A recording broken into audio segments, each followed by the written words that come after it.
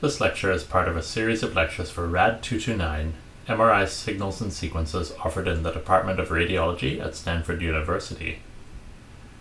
The seventh lecture on signal to noise ratio is divided into three parts.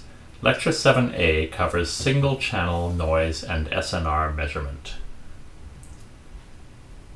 The learning objectives for this lecture are to understand noise statistics in k-space, complex images, and magnitude images, to explain when the distribution is Gaussian, Rayleigh, and Ricean, and to know basic methods to measure SNR. To introduce the concept of signal to noise ratio, signal is the desired uh, component of an image, and noise is interference. Most of the noise comes from thermal noise and depends on a number of factors, including the coil and the patient's size. And we can see this picture at the left here, where you see the signal as a vector and the noise is sort of a, a cloud. And this is a distribution, a probability distribution of where the signal might be altered to. If we look at images, you can see examples on the left and the right of a low signal to noise ratio and a high signal to noise ratio. And the impact of having noise is that it can make it difficult to depict boundaries in images or other features in images. So you can see that noise has sort of a speckly type pattern and is random. Briefly, let's look at the origins of signal to noise ratio. Again, we generally assume we have body noise dominance. This means that we've done the best we can with our hardware and we're now limited by the subject that we are imaging. This is a formulation for signal to noise ratio that is a function of some constants, the object, and the imaging parameters shown by the three colors here. And if you look at this relationship, the key part that we're going to focus on for this course are the imaging parameters. And at the rightmost part of this equation, you see that the signal to noise ratio is proportional to the baseline resonance frequency or Larmor frequency, the voxel volume, and the square root of the A to D time or acquisition uh, time.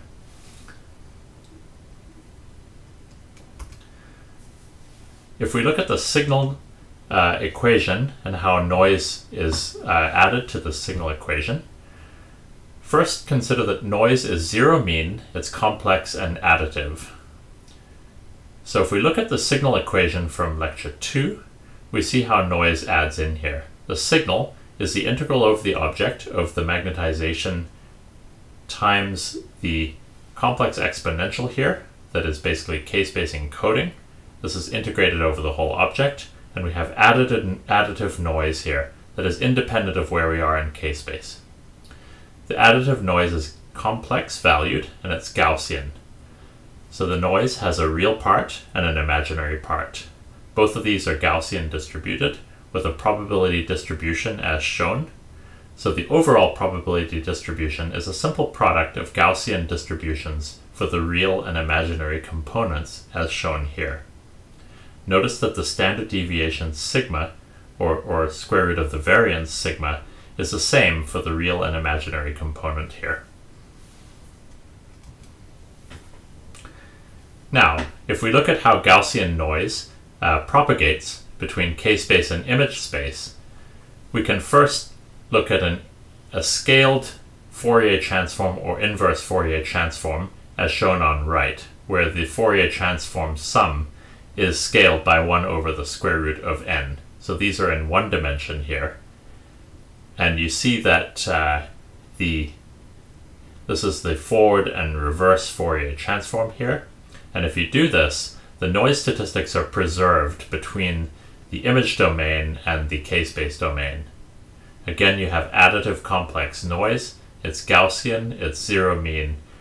The sigma is equal to the sigma for the real and for the imaginary components, as shown here.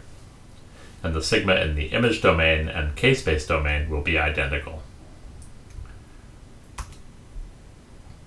So let's look at an example here to verify the noise properties. So in this example, we will make up some k-space noise that is complex Gaussian noise. We take a Fourier transform and we calculate statistics for the varying signal. Here is the MATLAB code. So the sigma is 1. The number of points here is 256. And we're going to generate real valued and imaginary noise that is 256 by 256 here. We add these up uh, in k-space. We take the Fourier transform to form image space. And now we can look at the, um, we've scaled this by n instead of square root n. And we can look at the standard deviation of the real part and of the uh, imaginary part of this image. We can calculate noise as a function of the signal to noise ratio here in a loop, where we take this, basically this noise image, and we add to it a given signal that ranges from 0 to 10.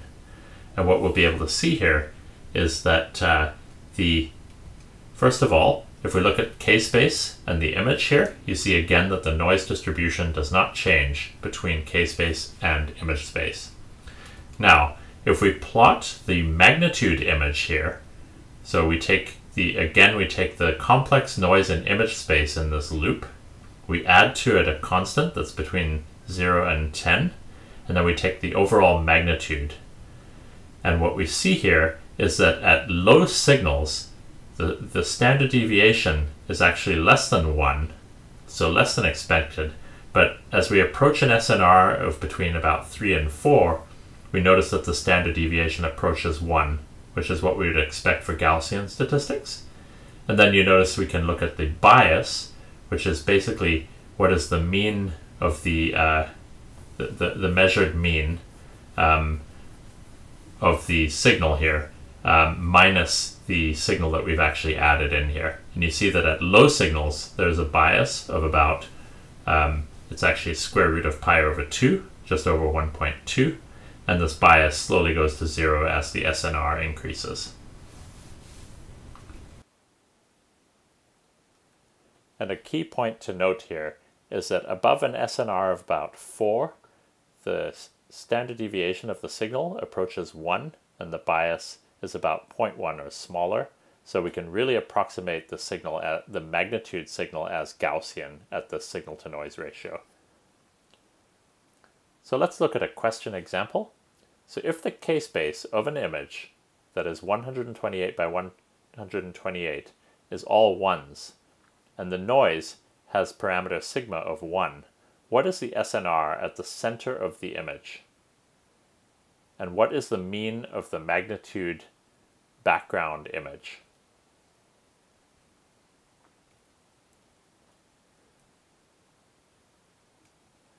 So the answer here is that noise transfers without scaling.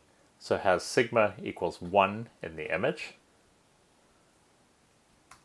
The signal at the center is the sum over 128 by 128, and it's normalized by n here, or 128. So that means that the signal to noise ratio is 128. The background mean is sigma times the square root of pi over 2, or about 1.2. So now let's look at some basic probability distributions for noise for single channel cases. So if we take the real part of the signal, it will be Gaussian. And this is because we've taken a Fourier transform if we take the magnitude of the background, this is actually Rayleigh distributed. Okay, and the Rayleigh distribution looks something like this. You notice that the mean is no longer zero, um, and the signal, the distribution is not purely Gaussian anymore.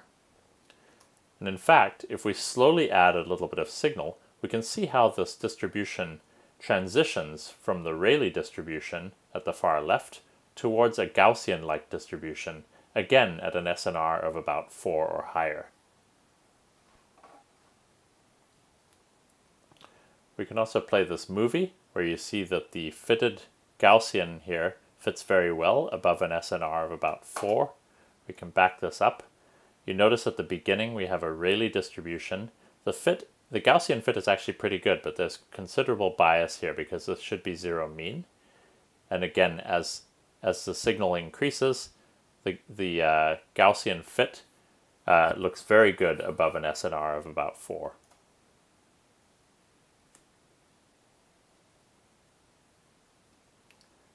So this brings us to another question. So intuitively, why is the noise distribution for magnitude images almost Gaussian for reasonably high SNR? So the answers, the possible answers here. A, the quadrature noise has minimal effect on the magnitude. B, the noise is real valued in image space. C, the image and noise are in phase. So the best answer here is A, that the quadrature noise just does not affect the magnitude very much. So when we take the magnitude, it doesn't change very much when you have quadrature noise. And this means that the dominant noise is the in-phase noise uh, that is uh, itself Gaussian. So next we look at basic SNR measurement using a single coil. And this is actually a fairly easy task, but some corrections have to be made. So what you can do to measure signal to noise ratio is you want to estimate the signal by measuring the mean in some signal area, ROI or region of interest. And then you want to measure the standard deviation of the magnitude in, in a background region of interest. You can also measure the mean in a background region of interest. And either way, you have to correct for the Rayleigh distribution in the background. So it looks like this.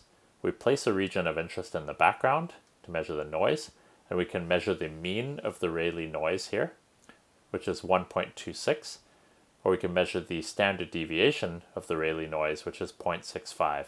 This corresponds to a Gaussian sigma of 1.0, and in fact, if we do these correction factors, you see that the estimated Gaussian uh, sigma is about 1.0 for both cases. So you can either measure the mean or the standard deviation of this background noise, and this gives you a very good estimate of the noise.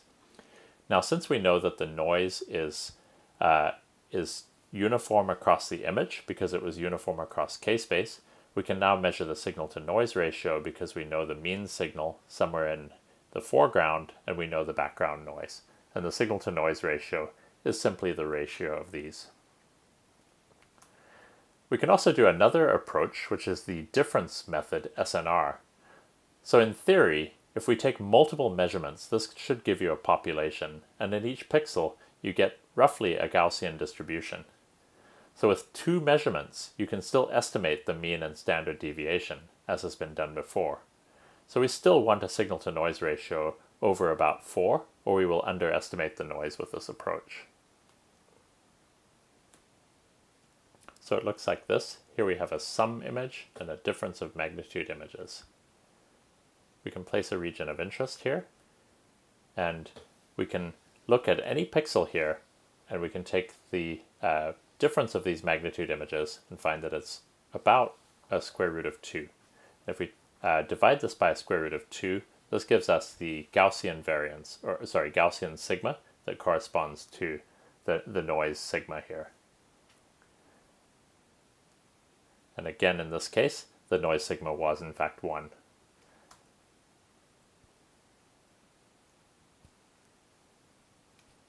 Okay, so this brings us to another question. If you acquire an image three times and the standard deviation of the magnitude signals is 0.5 and the average signal is 5, which of these answers is correct?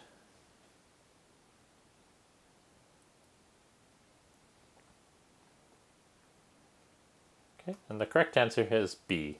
Above an SNR of about 4, the Ricean distribution looks Gaussian. So this method will work really well, and we basically uh, take the signal of 5 and the standard deviation is 0.5. And by measuring the standard deviation of these signals, we've simply measured the Gaussian sigma parameter. And recall this plot here, where the, the curve on the far right looks uh, very Gaussian.